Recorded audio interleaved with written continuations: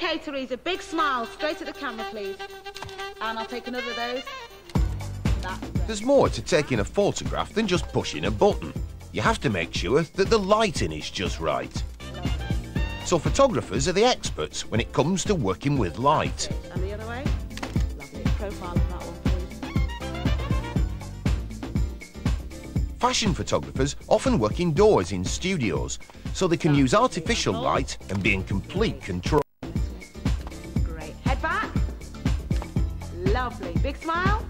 Towards the camera. That's great. Now you stay as you are. Um, can we have these lights down, please, and uh, curtain down as well, and we'll uh, reset. With different lighting, photographers can create all kinds of effects. Okay, lights, please, Tim. Not only do they play with light and shadow, but they can even change the colours that appear in the photograph. But before thinking about colours, you have to know how we can see things at all. When there isn't much light around, it's difficult to see anything.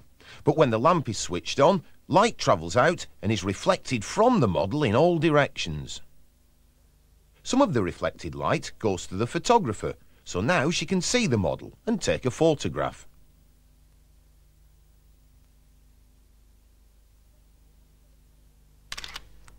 Okay. Tim, can you pump a bit of smoke in for me, please? Smoke particles also reflect light, so some smoke helps us to see the beam from the lamp.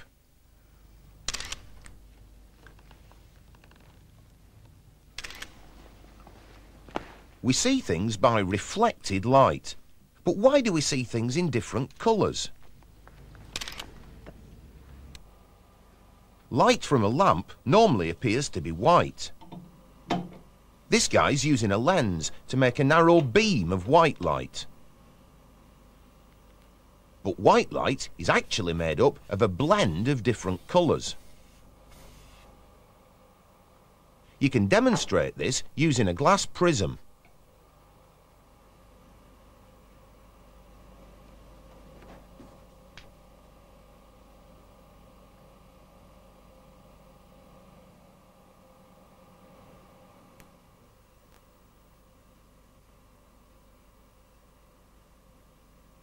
Prism makes the beam of light change direction, but the different colours are bent by different amounts.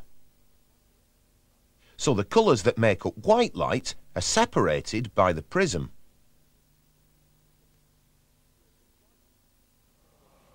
This experiment shows that white light is made up of a spectrum of colours, ranging from reds and oranges through to blues and violets.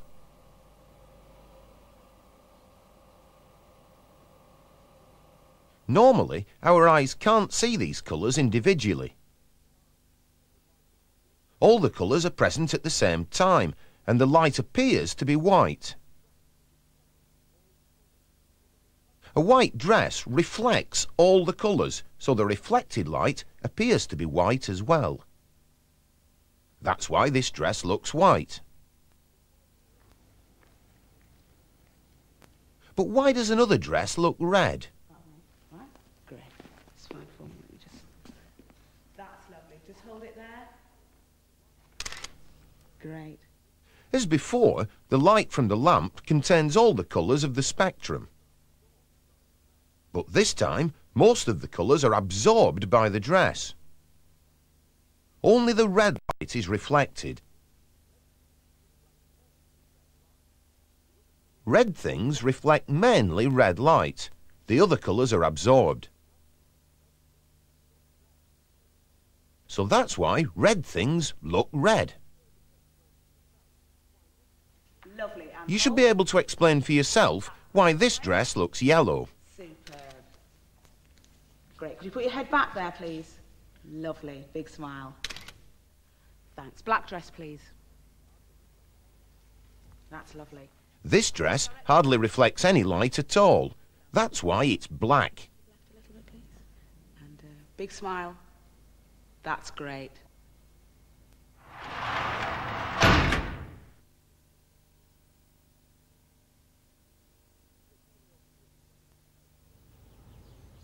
Here's a really obvious question about colour. Why is the sky blue?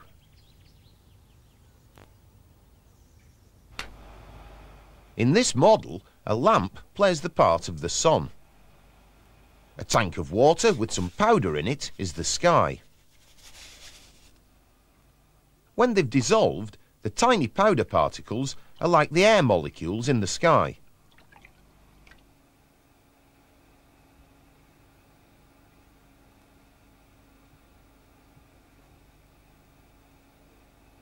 Remember, the light from the lamp contains all the colours of the spectrum.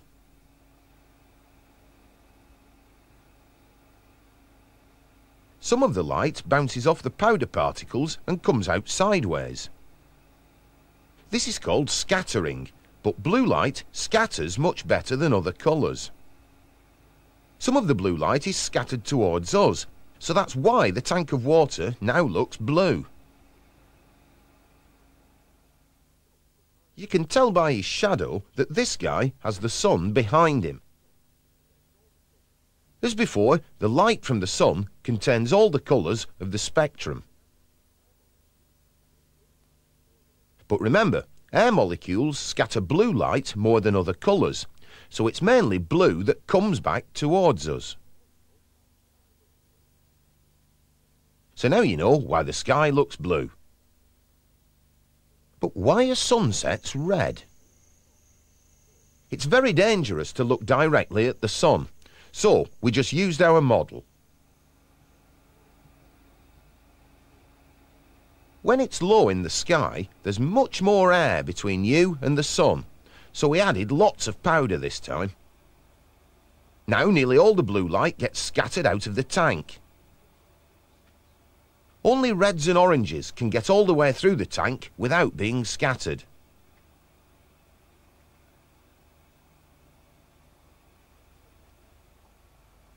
So that's why sunsets are red.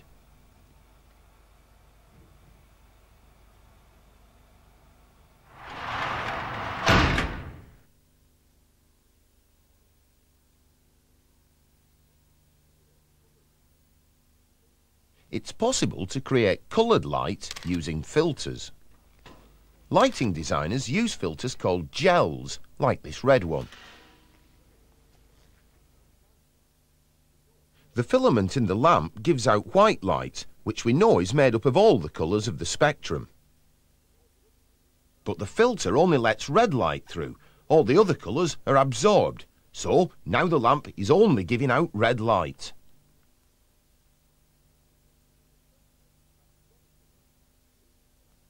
A filter lets one colour of light through and absorbs the others. Red, green and blue are called the primary colours of light. We'll find out why they're important in a minute.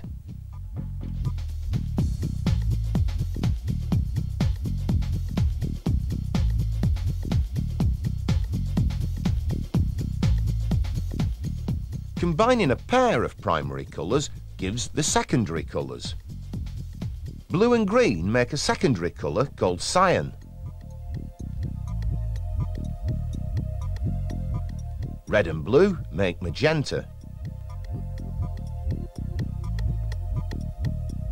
And red and green make yellow.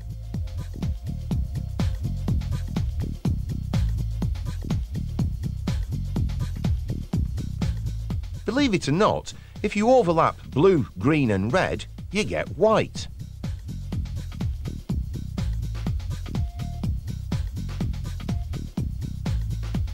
What'll happen if he switches off the blue lamp?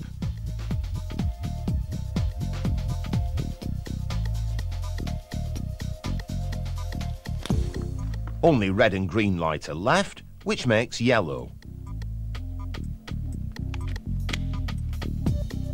When Teresa stands in place, she makes some unusual shadows.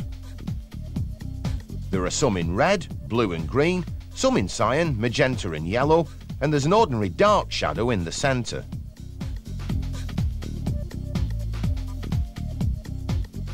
It isn't difficult to explain why once you've got the idea. Think about which light she's blocking off to make the shadows.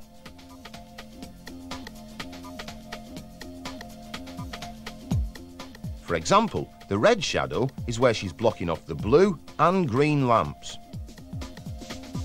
Try explaining the others.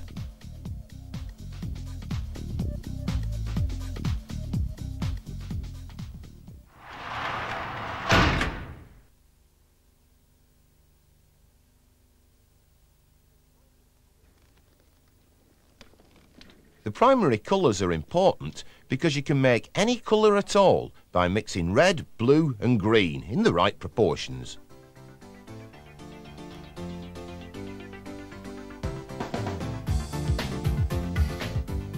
You can see lots of different colours in Teresa's dress, depending on how much red, blue and green are shining on it. Hold. Okay, that's lovely. Hold it there for me, please. That's lovely. The primary colours are used in television sets and in video projectors like this one. All the colours in the image are made by combining red, blue and green.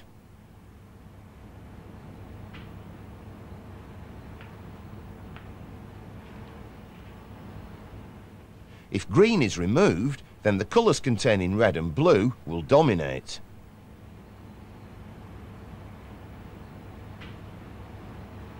Blocking off red has a different effect.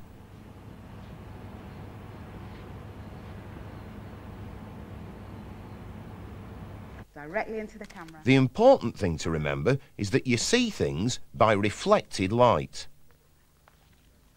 As you're about to see, coloured light can play tricks on you if you're not careful.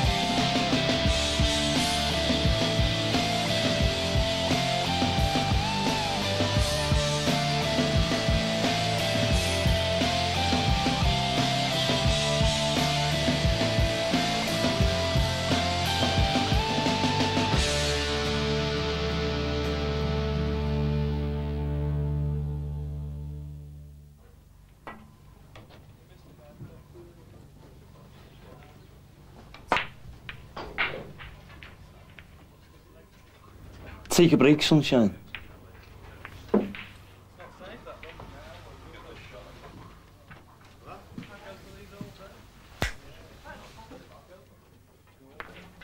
Right, boys, I'm back off my holiday. I'm ready to get back to work. And you'll be glad to know I've been making the most of the last 18 months, doing a bit of research. There's a nice little industrial unit just down the road that's going to give us all the chance for an early retirement. We go in at night, but there's going to be video cameras. So that means no faces and no names. But so that you still all know who's who, we'll all be wearing different colours. Here you go, boys. These are your new identities. Ronnie, you're Mr. Green. Right, cool. Keith, you're Mr. White. And Brian, Mr. Red. And I'll be Mr. Black. Clear? Right, Mickey. What have I just said? Sorry. Mr. Black. Right. Now listen, it couldn't be easier. Mr. Green goes in to kill the alarms. With Mr. Red on the roof, keeping lookout. Once the alarms are off, Mr. White can go in and get the money. While I'm outside in the motor, in radio contact with Mr. Red. Now when he sees Mr. White and Mr. Green with the bags, he gives me the all clear and I come round, pick you all up, and we head for the airport. Okay? Now listen, this is important. If at any point any of you sees me, Mr. Black, you know we've been rumbled. You get the others, you get out, and we all leg it, right?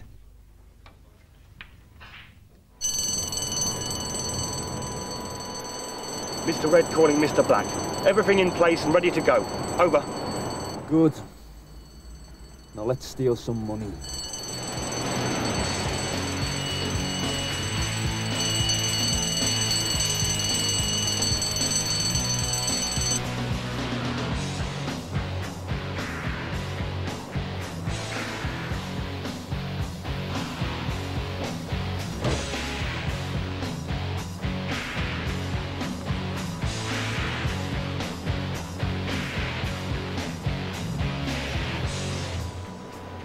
Oh no. It's Mr. Black. Something's happened. This has all gone wrong. Where's Mr. Red?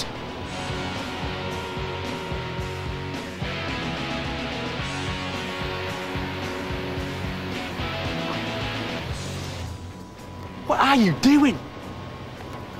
Mr. Black, what's happened? What's gone wrong? What are you doing here? What are you doing here? I'm meant to be here. What, what's, what's the problem? Hey, I'm, I'm fixing the alarms, you know that. Where's Mr. White? I'm Mr. White. Now, what's gone wrong? Nothing's gone wrong. So why are you here? I just told you, and I am fixing the alarm. Well, Mr. Green's doing that. I am Mr. Green. Oh, great. Now we've got two Mr. Reds. what is going on? Where's Mr. Green? I've been trying to tell you, I'm not Mr. Red. Mr. Black calling Mr. Red. Come in, Mr. Red. Come on, son, talk to me. Right. I know you're white. No, you're red. Oh, God, I don't ah, know. I'm know. Mr. Red. What's wrong? I don't know what's wrong. Hey, hey, hey, hey. What's going on? He's in the wrong place, and he's in the wrong place. Well, where's the money? Oh, great. Now we got two Mr. Black. Look, I've told you, haven't I? He's black, okay? Leg it, lads. Wait, get back here now, quick. Come on, quick, move it. Will you Sex together. Shut up. Will you make your mind up? Is this thing on or off? Shut up! But, but it's blown. Shut up! Get in the line. Now, come on, let's sort it out. Right. You are Mr. White. White, like snow. Got it? Right. You are Mr. Green. See? Green. And you are Mr. Red. And I'm Mr. Black. Got it? Right. Now, can we please get on with the robbery? Gav. Gav, Yes! What is your problem? I think it's Mr. Blue.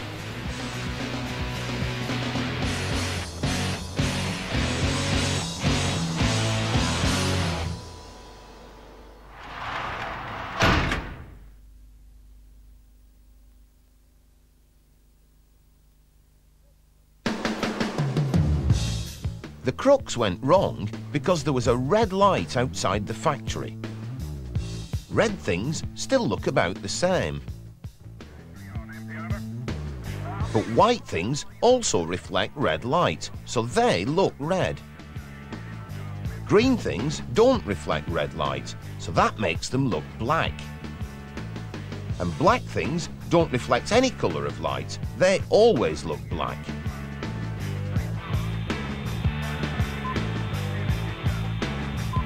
You need white light to sort it all out. Don't be confused by colours. Just remember that you can only see things by the colours of light that they reflect.